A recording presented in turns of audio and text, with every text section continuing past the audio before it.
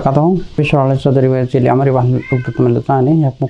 मतलब जो आ, एक काफ़ी चीज़ें मुझे जो कुछ सवाल आया था जिसके बारे में मैं कुछ ज़्यादा नहीं जानता लेकिन आ, कुछ ड्रामा है मेरे पास तुम हो उनके जो जो राइटर हैं खलील रहमान साहब, उनके बारे में किसी ने ये बात की थी कि इन्होंने ऐसी बात की है तो वो इज़ ओपिनियन अबाउट दैर तो मैंने बेकायदा उसके ऊपर वो खलील रहमान साहब का जो है, वो मैसेज मैंने बेकायदा सुना था कि जिसके बारे में ड्रामा के बारे में शायद बताया था, मेरे पास तुम हो समथिंग लाइक दैट तो तो उन्होंने कहा था कि जो शोहर की जो नेचर होती है, बिल्कुल एक खुदा ऐसी है।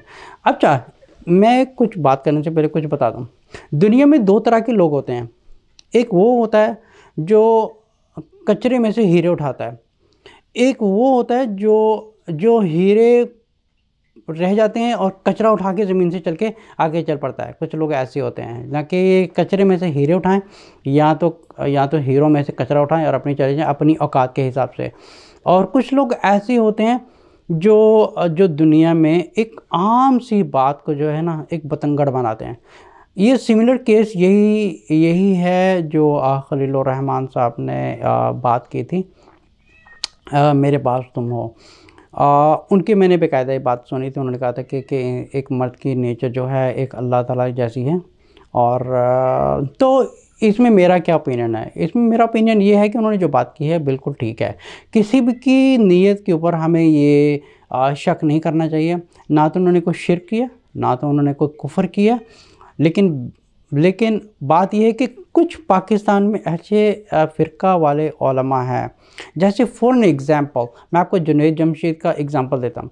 जैसे जुनेद जमशेद ने एक बात कही थी हज़रत आशा रदी के बारे में, और एक पर्टिकुलर जो फ़िरका था पाकिस्तान में, उन्होंने इस बात को इतना बढ़ावा दिया, इतना बढ़ावा दिया कि पाकिस्तान में यहाँ तक कि कुछ खून खराबे हुए, यहाँ तक कि जो मरहूम जुनेद जमशेद हैं, उनके ऊपर भी बाकायदा मैंने वो वीडियो देखा था जो एयरपोर्ट के ऊपर, उनके ऊपर एक अटैक हुआ था।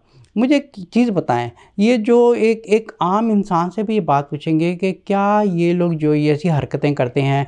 Are they are the founder of Islam. क्या वो खुदा बने हुए हैं? क्या वो अल्लाह बने हुए हैं? कि वो रसूल के ठेकेदार हैं? वो किसके ठेकेदार हैं? किसी के ठेकेदार नहीं है, सिर्फ़ ये कि हम अपना नाम आगे बढ़ाएँ। हमने हमारे ये रसूल के बारे में ऐसी बात क्यों की है? हसाबा के बारे में ऐसी बात। किसी बात को इतना बढ़ावा मत दे, क्योंकि ये भी एक शैतानी हरकत होती है।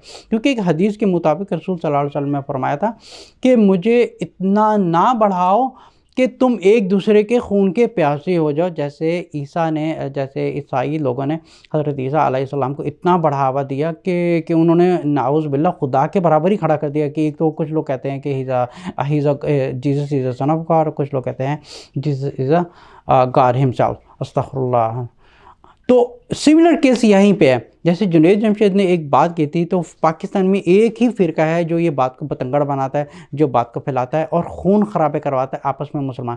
देखिए, जिसने ये कहा है कि अल्लाह एक है और जिसने ये कहा कि रसूल वसल्लम आखिरी रसूल है और रसूल के बाद कोई नहीं है और यहाँ पे फुल स्टॉप है, वो मुसलमान है। चाहे वो अहल हदीस हों चाहे वो हनफी हो, मलकी हो, शाफ़ी हो, हम्बली हो, कोई भी हो, चाहे वो देवबंदी हो, तबलीगी हो, या वो बरेलवी हो, कोई भी फ़िरका वारियत का हो, अगर किसी ने ये कलमा पढ़ा है कि अल्लाह एक है और रसूल सल्लल्लाहु अलैहि वसल्लम आखिरी रसूल है, वो हमारे भाई हैं। अगर जो इससे रसूल के बाद अगर किसी को रसूल के बराबर खड़ा कर रहा है तो समझो कि वो कुफर में चले गया। He is in to the Kufar he is no longer Muslim तो उसको दोबारा वापस एक फुल स्टॉप लगाना पड़ेगा। रसूल सल्लल्लाहु अलैहि आखिरी रसूल है, बस वहाँ पर ख़त्म है। ठीक है? इसके अलावा जो जो बात हुई थी, जो खलील रहमान साहब ने बात की थी कि एक शौहर की जो नेचर है, एक, खुदा जैसी है अब एक ही फ़िरका पाकिस्तान में है जिसने इस बात को एक बढ़ावा दिया है। एक एक आम, एक समझिए कि दो इंसान आपस में आम बात कर रहे हैं।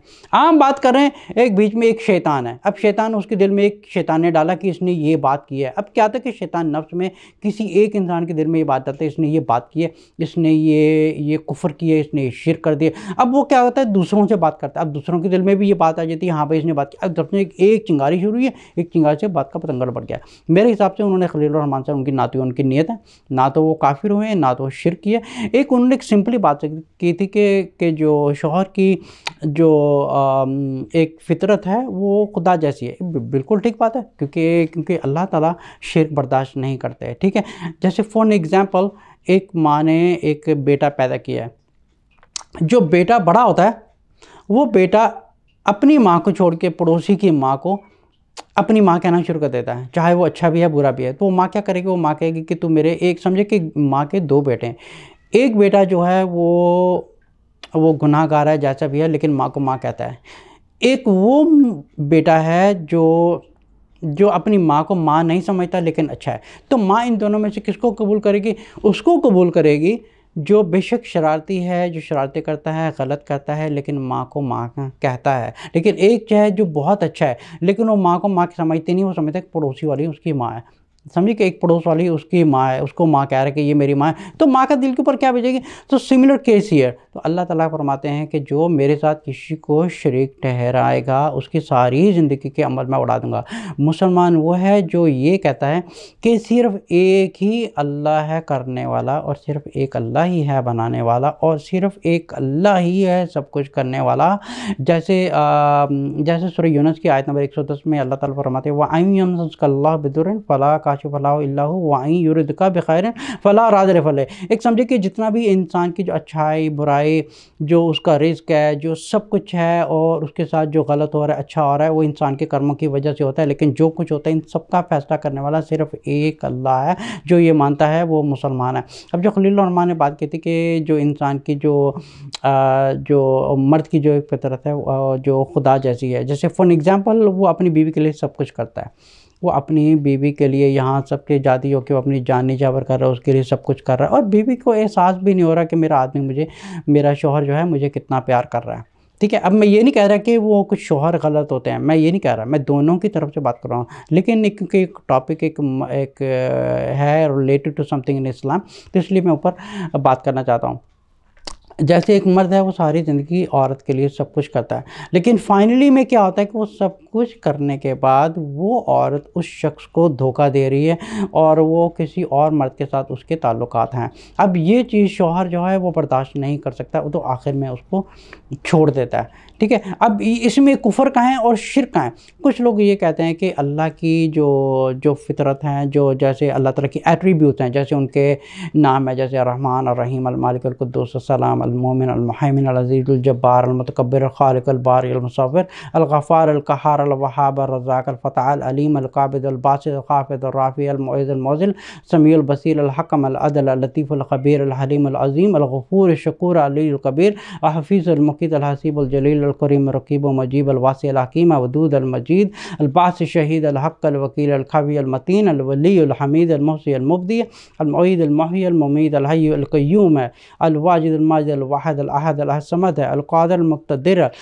मुक़दम मखर अव्वल आखिर ज़ाहिर व बातिन वाली है मतआली बर अतवाब मनतकीम अफू रऊफ़ मालिक अलमुल्क है जुलजलाल वलकराम है मकसद जाम गनी अलमगनी अलमानह दार नाफ़ नूर अलहादी है बदी अलबाकी अलवारस रशीद सबूर है जल्ले जलालहू है अच्छा ये जो एट्रीब्यूट्स हैं जो अल्लाह ताला ने और हदीसों से और और कुरान से कंपाइल किया गया है, ठीक है? ये जो जितने भी नाम हैं ये एक नाम की जो क्वालिटीज़ हैं, ये सिर्फ़ अल्लाह के लिए ही है। अगर मैं कहता हूँ कि मैं बहुत रहमान हूँ, मैं बहुत मैं बहुत रहम दिल हूँ और मैं रहमान हूँ और मैं मैं रहीम हूँ, क्या मतलब है? जो एक इंसान कह रहा है is that something compare to the creator आप समझें कि एक बनाने वाला है क्रिएटर है और एक है क्रिएशंस है। क्रिएशंस की जो क्वालिटीज़ हैं, वो क्रिएटर में कंपैटिबिलिटी हो ही नहीं सकती। इट्स इट्स बियॉन्ड थिंकिंग और ऐसा सोचना भी एक गलत है और कुफर है, ऐसा बिल्कुल भी कंपैरिजन नहीं करनी चाहिए। फॉर एग्ज़ाम्पल सुर शरा की आयत नंबर 11 में अल्लाह ताला फरमाते हैं लई सक मिसल शही वाह समील बसीर। अच्छा फिर दूसरी आयत है जो सूरत 112 सूरत की आयत नंबर चार में अल्लाह ताला फरमाते हैं वलमिया कुल्लह कुफवान जैसे फॉर एग्ज़ाम्पल एक बनाने वाला है और बाकी सब क्रिएशंस है। अब क्रिएशंस की जो क्वालिटीज़ हैं, वो चाहे हम चाहे हम अपनी जो दुनिया है ना, उसके बराबर में हम रहम दिल हो जाएँगे ना, लेकिन कंपेयर टू द क्रिएटर जो है, उसकी कंपैरिजन नहीं हो सकती, क्योंकि एक अल्लाह ताला की क्वालिटीज़ और एक इंसान की, अगर मैं कहता कि मैं बहुत रहम दिल करने वाला हूँ, मैं सब कुछ करने वाला हूँ। अच्छा इंसान अगर ये भी कहते हैं ना कि मैं सबसे ज़्यादा रहम करने वाला हूँ he is talking about the creations वो एक एक क्रिएशंस के दायरे में बात कर रहा है। अगर मैं कहता कि मैं बहुत रहमान हूँ, मैं बहुत बहुत ज़्यादा रहम करने वाला अगर कोई इंसान ये कह दे ना कि मैं अल्लाह से भी बढ़ के रहम करने वाला नाउज़बल्ला तो वो एक शिर में चले गया। तो उसको अपना दोबारा कलमा पढ़ के दोबारा मुसलमान होना पड़ेगा, क्योंकि उसके मुँह से एक ऐसे अल्फाज निकले जो एक शिरक वाले अल्फाज थे। अब ये भी एक एक लफ्ज़ है कि वो दिल से कह रहे हैं, उसके मुँह से निकल गया। ये भी एक डिफरेंट टॉपिक है, क्योंकि जो इंसान सोच समझ के ये बात करता है ही फॉल्स इन तो वो काफिर हो जाता है because he is denying Allah so he is trying to put himself next to Allah जैसे अल्लाह ताला फरमाते हैं लई से मिसल शही वाह समील बसीर। जैसे अल्लाह ताला की जैसे मिसल हो ही नहीं सकती कोई भी। ये सिर्फ़ एक अल्लाह की ज़ात अलग है और क्रिएशन अलग है। तो अल्लाह ताला के बारे में ये सोचना ही गलत है। हम सिर्फ़ माने कि वो हमारा क्रिएटर है। तो बात हो रही थी खलील रहमान ने ये जो बात की थी कि जैसे एक शिरक अल्लाह ताला बर्दाश्त नहीं करते तीसरा शोहर भी एक बर्दाश्त नहीं करता कि दूसरा मर्द हो इसलिए उसको छोड़ दिया। अब जो टॉपिक ये था कि बात का लोगों ने कि बढ़ंगा, एक एक एक बतंगड़ बनाया बात का, ये सब शयातीनी हरकत हैं। इन इन हरकत से मेरी ओलमा से दरख्वास्त है, इस किस्म की हरकत ना करें। अच्छा पाकिस्तान में ये करने वाला कौन है? एक ख़ास पर्टिकुलर फ़िका जो करने वाला मैं जिसका नाम नहीं लेना चाहता, वो सिर्फ़ उनकी ही आदत है। जैसे फॉर एग्ज़ाम्पल जैसे जुनेद जमशेद साहब ने अगर समझें कि एक एक समझे कि एक बग़ैर बुरी नीयत के ये बात की थी, या उन्होंने ये बात की थी बातों बातों में बयान बयान देने में ये बात उन्होंने कर दी है, बगैर सोचे समझे बात कर दी। But maybe he does not have a near to say that अब फिर क्या हो रहा है? वो इंसान बेचारे एक अल्लाह की तरफ़ से हाथ जोड़ के अच्छा देखिए, अल्लाह की नज़र उसको देख रही है कि हाथ जोड़ के माफ़ी मांग रहा है। फिर मेरी तरफ़ से उन उन उन ओलमा के ऊपर अल्लाह की लानत है, जो इतने वो एक शयातीन बने हुए हैं कि एक इंसान के हाथ जोड़ के एक खुलेआम पब्लिकली हाथ जोड़ के माफ़ी मांग रहे हैं। और ये कह रहे, हम माफ़ नहीं करेंगे। भाई, तुम्हारे बाप का इस्लाम है, तुम्हारी माँ का इस्लाम है, तुम्हारे घर में इस्लाम पैदा हुआ था, इस्लाम आया है अल्लाह की तरफ़ से और इसको हमारे तक पहुँचाने वाले हैं रसूल सल्लल्लाहु अलैहि वसल्लम और रसूल सल्लल्लाहु अलैहि वसल्लम से बढ़ के कोई नहीं है। ना मैं ठेकेदार हूँ इस्लाम का, ना कोई ठेकेदार नहीं है।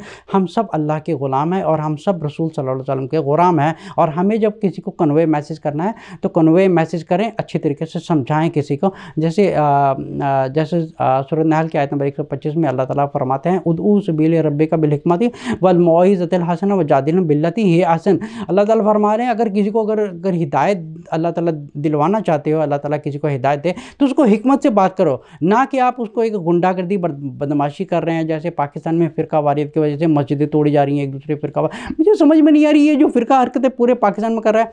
ये सब शयातीनी हरकतें this has nothing to do with Islam क्योंकि ये भी हो सकता है क्यामत वाले दिन, ये जो कौम है, जो पाकिस्तान में ख़ास एक फ़िरका है, जो पाकिस्तान में फसाद खड़ा कर रहा है, हो सकता है कि अल्लाह ताला इनकी सारी ज़िंदगी के अमाल उनकी नातें उड़ा दे, इनकी तलावतें उड़ा दे, इनका सब कुछ उड़ा दे कि तुम दुनिया में फितना खड़ा खड़ा करते थे। तुम्हें तुम्हें किसने हक दिया कि तुम इस्लाम के ठेकेदार बने अल्लाह के ठेकेदार बने रसूल के ठेकेदार बने तुम्हें किसने हक दिया? क्योंकि तुम्हारी भी वही औकात है जो दूसरों की औकात थी, लेकिन तुम कौन होते थे किसी के ऊपर जजिंग करने वाले थे? तो हमारा ये कोई हक नहीं बनता कि हम खलील रहमान साहब के ऊपर ये जजमेंट करें कि उन्होंने कोफर किया या शिर किया। किसी का कोई हक नहीं बनता।